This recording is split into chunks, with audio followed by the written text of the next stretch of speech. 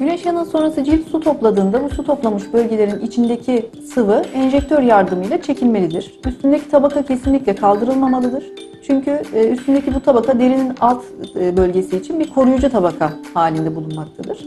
E, bu tabaka üstünde yani bu su toplamış olan bölge içindeki sıvı boşaltıldığında ıslak pansumanlarla bu kabuklanmanın daha çabuklaştırılması sağlanabilir ve bu kabuklar kendiliğinden kabukların kendiliğinden atılması beklenmelidir.